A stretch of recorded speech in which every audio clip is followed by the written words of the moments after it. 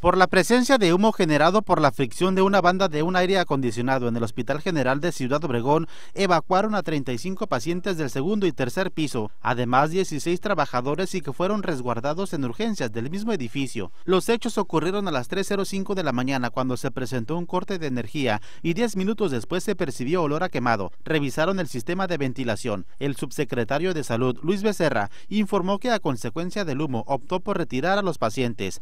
La evacuación fue a las 3.31 de la mañana por la falla de una polea en un aire acondicionado. Ello ocasionó una fricción que produjo humo y se esparció por los ductos de ventilación. Los bomberos de Cajeme solucionaron el problema y cuando se disipó el humo, regresaron a las personas a sus lugares. Imágenes y edición de Edgardo Félix informó para las noticias Tomás Valenzuela.